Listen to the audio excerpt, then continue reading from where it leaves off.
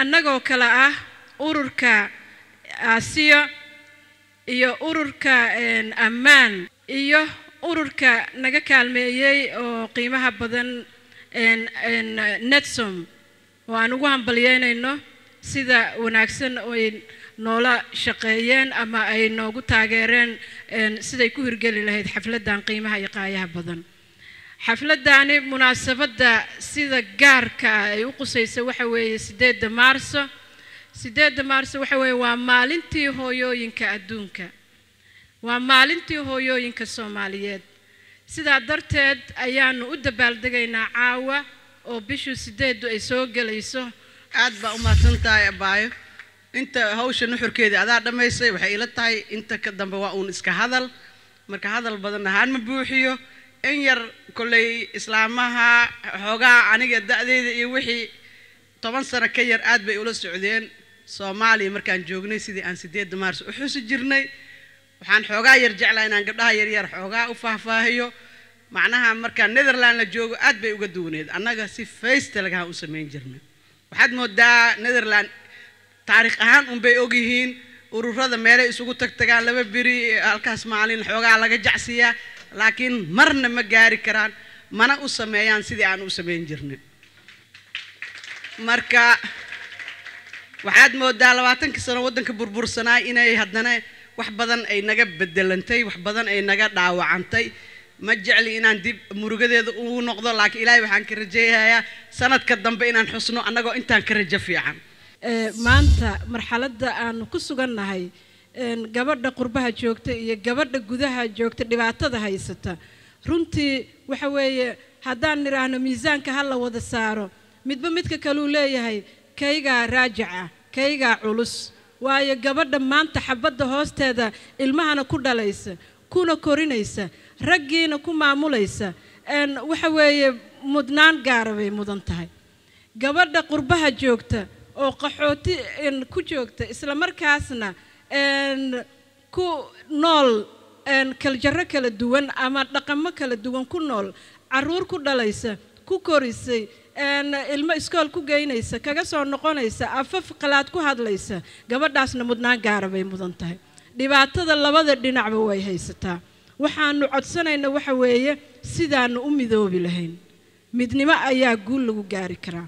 Kala daadsanaanta maanta ummadda soomaaliyeed haysata waxa weeye mid aan suuragal ahayn inaan u sii dulqaadanno besenka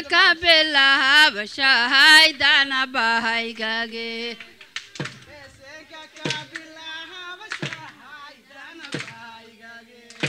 malaa'igta dahakirahaysaa soo degtee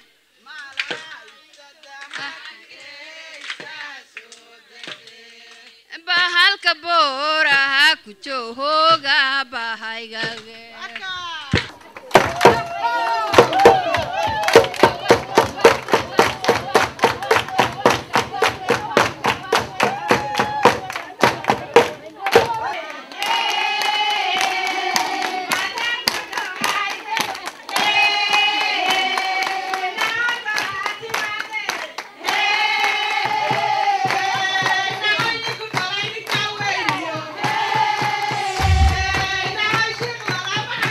daawadayaashayda sharafta leh ee barnaamijka talk to me waxaan caawa halkan ku soo jeedin doonaa barnaamij ku saabsan maalinta haweenka ee soomaaliyeed ee sideedda maarso oo looga dabaaldego adduunka dhan. Waddankan hollandna aan u dabaaldegayno maanta magaaladan danhaag waxaa sidii ay sheegtay xamsan halkan sharaf noogu ah inay nala joogaan marwooyinka kale ah sahra ruqiyo mulki iyo miina.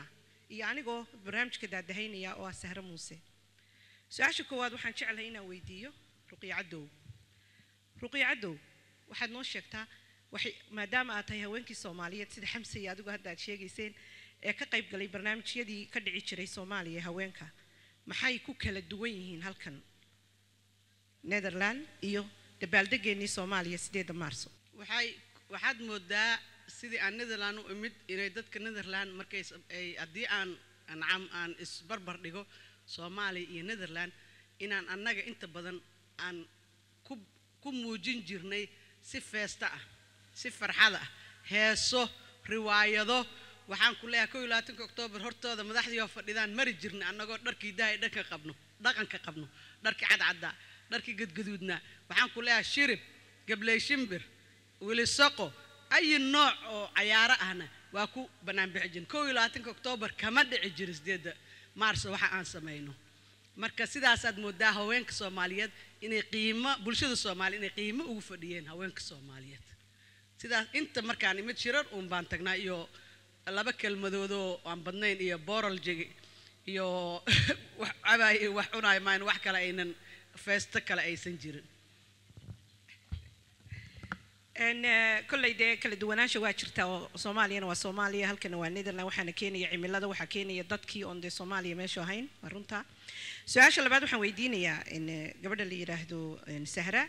Sahra soomaaliyaad ka timi adigu dhowaan. Wax ma nooga sheegi kartaa inaad la kulantay farxadda ay ruqya sheegtay sideeda maarso halkaa intaad joogtay soomaaliya. Sahro oo dhowaan ka timi soomaaliya iyadoo ku soo qaadatay en, projektiyo ku saabsan dhanka haweenka caawinteeda iyo weliba barnaamijyo iyada u gaarasaan jeclahay amaan eh, rajaynayo iyo nooga sheegi karto.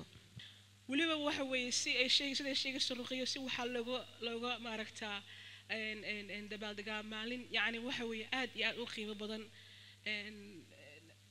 casho geelle qofta la yidhaahdo ayaa waxay ka tahay puntland wasiiradda dumarka iyo qoyska waa mahadsantahay ruqiyo marka maalinta maalinta noocaasa iyada iyo kooxdeeda inta ka hooseysa iyo inta la simanba baa waxay organise gareeyaan ma garanaysaa laba beri isku xigta toddobada iyo sideedaba maaragtaa celebration weyn.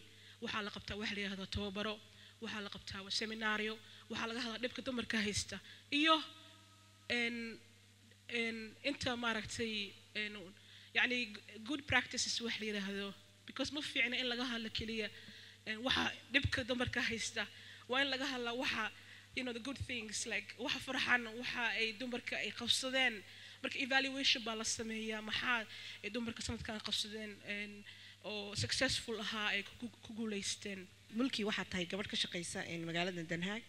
En, eh, waxaanad ku jirtaa saan u malaynayo en, eh, ururo ama guddiyo loo magacaabay inay ka hadlaan dhibaatooyinka soomaalida ee magaalada den haag waxaan kaa weydiinayaa su'aal ah. Waxaa jirta iminka in report soo baxay eh, netherland soomaalida runtii lagu wada cambaaraynayo. Hadday noqoto dhallinyarada hadday noqoto waxbarashada hadday noqoto en, isdhexgalka dadka inay dhexgalaan markaa adigu sanqadhada ama khallawdaha ma ka maqashay danhaag iyo iyo kolleekhahaaga. Maxaadse mulki ahaan dumar ahaan maanta ay tahay maalinta haweenka maxaad arrintaa ka qabateen haddaad tihiin guddidaa ma nooga sheekeyn kartaa zaar haddii u soo noqdo su'aashaada baa ehm, runtii waa jiraan eh, report soo baxay oo dhibaatooyinka eh, soomaalida hadday yihiin xagga dumarka hadday yihiin wiilasha ilmaha dhalinyarada hadday yihiin eh, yacni eh, ragga ka ka hadlaaya. Run ahaantii markaa akhrisid ehm, raboorkana raboor yacni ku farax gelinaayo ma ahan. Waa raboor aad iyo aad eh, dhibaatooyinka soomaalida wax uga sheegayo Um, saddex wiig ka hor uh, yani riboorkaas awgeed waxaan kala hadlayay dad oo uh, tweeda kaamar ku jiro uh, siiba bartaafada arbay okay miina waxaa hadda naloo sheegay inaad samaysateen urur danhaag haweenkiina soomaaliyeed. Waxaan jeclay horta ururkaas inaad nooga sheegto en, waxyaabaha u samaysateen iyo waxyaalaha hadda ilaa hadda qabtay iyo ujeeddada uu leeyahay. Ururka eh, ulajeedadiisa waxaa waaye hooyada iyo cunuga karaan ama ay kala ku- ay kala kulmeen in aan ku caawino marka en, waxaa ururka guddi- guddiga ururka hadda saddex waaye laakiin waxaan rajeynaynaa dad badan inay eh, muxuu ahay dad eh, nala shaqeeyaan Vivae, esta markanida mawshaga ayaa abkuna ka magaya markanida mawshaga ayaa abkuna ka inay ogate mahadaba kalgacalku sidaa inay ogate